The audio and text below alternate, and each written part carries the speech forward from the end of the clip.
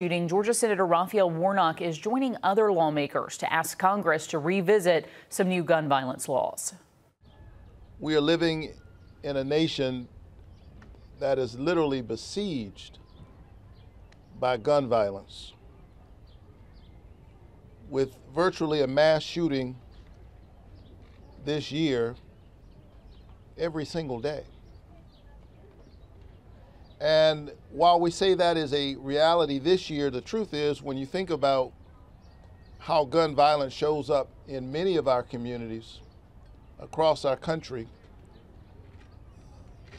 there's a sense in which there's been a mass shooting in America, although it may be in disparate locations, every single day for years.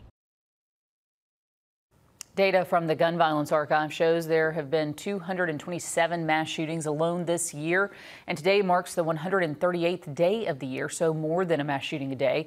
They consider it a mass shooting if a gunman shoots at least four people.